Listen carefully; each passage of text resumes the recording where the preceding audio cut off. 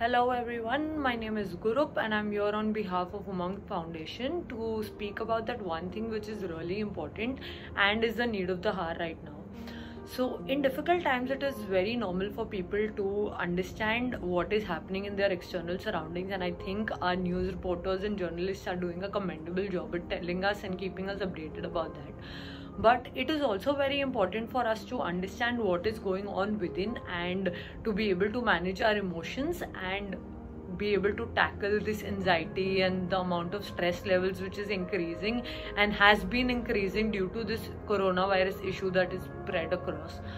So it is very important for us to also understand that as much as keeping your immunity strong is important but if your stress levels increase or your anxiety levels increase it is also going to have have a direct impact on your immunity. So no matter how much exercise you do no matter how many proteins vitamins or immunity boosting products you keep eating or keep burning it is not going to have any impact on you if you do not keep your mental health very strong.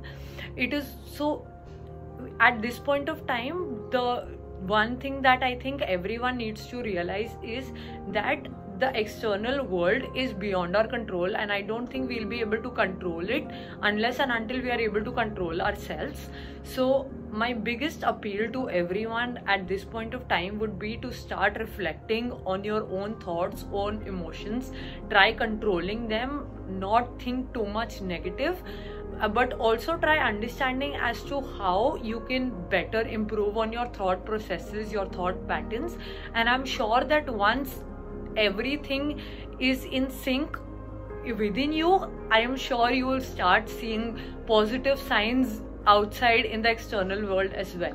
So that is one appeal that i have to each one of you watching this video. Please stay safe and be in touch for further updates. I am looking forward to speaking and interacting more. Thank you so much. Bye bye